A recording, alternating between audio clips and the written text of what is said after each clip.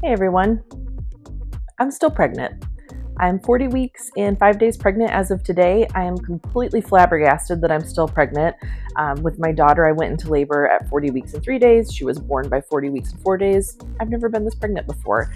And I'm rapidly approaching 41 weeks. I'm really torn about the idea of having an induction, but I feel like I know too much as a midwife about the risks and benefits of induction versus the risks and benefits of staying pregnant. And I really have no idea what to do. I'm, I'm really torn. Um, and I'm just going to talk about why that decision is so difficult. So, if you are someone who is approaching 41 weeks and you've been offered an induction and you don't know what to do, you're not alone. Welcome back to Every Mama's Midwife. If you're new, my name is Jess. I'm a certified nurse midwife and infertility mom, and this is my second baby, and I did conceive this pregnancy via IVF. Routinely, I offer my patients induction at 41 weeks of pregnancy because there is an increased risk of stillbirth the further you go past 41 weeks. It's small initially, but it is statistically significant. It gets higher um, after 42 weeks. But working as a midwife, I will never, ever, ever forget um, a patient that I took care of when I was a student who came in for her scheduled induction at 41 weeks. She was much like me, um, just a little over 35. She didn't have any other risk factors. And the nurse came to grab me because she couldn't find heart tones when she came in for her induction. Her baby had been moving great the day before. And when she showed up for her, indu- her induction, the baby didn't have a heartbeat anymore. I will never, ever, ever, ever forget that woman. And it's not like she did anything wrong. She followed all of the guidelines and the recommendations. And that kind of stuff just haunts you when you're a healthcare provider. And I know that doesn't happen very often. I know I've taken care of hundreds of moms who have gone past 41 weeks and gone on to have healthy babies, but not every single one of them. And there is a correlation with moms getting older and that risk of stillbirth being higher. The other reason why we offer induction after 41 weeks is the further you go past 41 weeks, the higher your risk of a C section becomes. And part of the reason the prospect of a C section is so terrifying to me is because even though I had a vaginal birth last time, I know consistently this baby has been measuring larger than my last baby, but also because I had complications with my placenta last time and I had to have a spinal to try and get my placenta out they could never get me comfortable with a spinal. I could still feel everything. So they had to put me to sleep to get my placenta out. So I suspect if I had to have a C section, I would have to go to sleep and then I would not remember my birth. And I absolutely do not want that. I've had a really hard time connecting with this baby and this pregnancy. I think just because we did IVF and because I had three losses between my last baby and this baby, and I I need to be present for birth. I need to feel it. I need to go through it to connect with this baby. I just don't want to I don't want to miss that. And that's a, that's a really scary thought. That being said, I know inducing labor is not a surefire bet at avoiding a C-section. I've seen multiple times where we've intervened, you know, as a healthcare team in the patient's best interest and with the patient's consent, um, offered someone an induction and tried to get the ball rolling, and then gotten to a place where we got stuck. Someone's water was broken um, their baby wasn't tolerating labor, or for whatever reason, we felt pushed into a C section because as we intervened and as we followed that cascade of interventions, we just couldn't get someone into active labor. Since I'm planning a home birth, my options for those types of things are a little bit more limited. At my last membrane sweep, I've had five membrane sweeps at this point. My midwife said my cervix was three centimeters dilated, about 50% thinned out, um, and the baby's head was about one centimeter above the skinniest point of my pelvis. So she could break my water. However, if she breaks my water and I don't go into labor, either I have to go to the hospital for Pitocin, which I'm not thrilled about that idea, or her other tool is castor oil. And we've talked about that before. I'll link that video here. I'm not really in love with that idea either.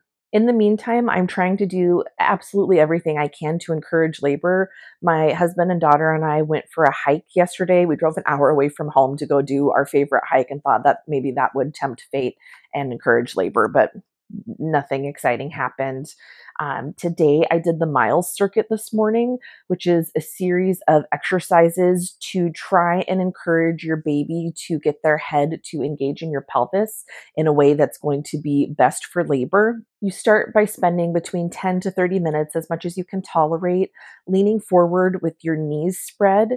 And the purpose of this is so if your baby's head is engaged in your pelvis in a way that's not ideal for labor, hopefully it gives them space to disengage and and come come out and then readjust. The second position is called exaggerated Sims or exaggerated side lying, where you can lay on your side with your leg propped up and you can do either side or switch sides, whatever's comfortable. I tend to lay on my left side just because I'm prone to heartburn and I have the least amount of heartburn laying on my left side. But again, this opens up the pelvis and allows baby to move. And I definitely did feel like before doing that first step when I would sleep like this, I would feel the baby's head kind of grinding into my right hip. And after doing the first step, I didn't feel that anymore in this position. So I do think that could have been beneficial. And then after 30 minutes of that side lying position, you want to do variations in movement where you're opening your pelvis and creating a symmetry in your pelvis. So one foot up on a chair, creating a 90 degree angle and doing some movement, or doing what we call the running start with the birth ball, where you're kind of in a almost lunge position, like a, runner getting ready to take off. Um, you can also do things like we've discussed before, like curb walking, walking sideways, going up and down the stairs. And you want to do this again for about 30 minutes. So this morning I did the full mile circuit and then we took a really long walk. Um, and while I did feel crampy during the walk, I'm not having any sort of consistent contractions. And it, has been really frustrating because a lot of times I'll wake up in the middle of the night with one contraction and then I'll lay there for 20 minutes waiting to have another one and, and nothing happens. There's also a whole rabbit hole you can go down on the internet called spinning babies, where if you think your baby is malpositioned, there's different exercises you can do. Fortunately, one of my best friends is a home birth midwife and a spinning babies instructor. And so she came and did some spinning babies exercises with me a couple of days ago. But again, nothing really exciting has happened since then. And I feel like this is one of those situations where, as a midwife, I just know too much because I don't really think my baby's head is malpositioned in my pelvis. Like, ideally, you want your baby to be face down and not looking face up towards your pubic bone. That being said, I pushed my daughter out looking face up towards my pubic bone without any problems. Um, but I also had a lot of back pain at the end of pregnancy with her, and I really haven't had that this time. So I don't get the feeling that my baby is OP or occiput posterior, posterior or sunny side up or malpositioned. Um, so it's like, well, am I not going into labor because my baby's head is not in the right position? Or is it just the fact that this is a totally normal time frame still to not have gone into labor? I am constantly telling first time moms, like, you probably will go past your due date. Odds are you'll deliver between 40 weeks and three days and 40 weeks and five days, but there's still plenty of moms who are going to go to 41 weeks or even 42 weeks and, and have totally healthy babies. And it's just so hard to know what to expect because there could be nothing wrong. It's just that I haven't gone into labor yet. And so I don't I don't want to rush my baby. And I know I'm not rushing my baby because we did IVF. We're 100% sure of when we conceived. I know my baby is full term, but I don't want to try and induce labor if my baby's head is not in a great position and then have my baby get stuck and wind up with a C section. And obviously, I don't want to induce labor if the next day I would go into labor, but you, you just don't know. You have no idea when you're going to go into labor. And like I said at the beginning of the video, I'm, I'm totally shocked that I'm still pregnant at this point. I thought for sure I would go a little bit earlier this time. Um, and I can't believe that now I'm the most pregnant I've ever been. And, you know, my daughter had been born by this point. So, to help me make my decision, um, tomorrow I'll be 40 weeks and six days. I do have an appointment with my midwife, and I'm going to do a non stress test. Um, this is part of the antenatal testing that I've talked about before in this video. I'll link it here in case you missed it, just to make sure if you are going past your due date, or if you're an older mom going past 39 weeks, that your placenta is functioning well and your baby's getting enough oxygen.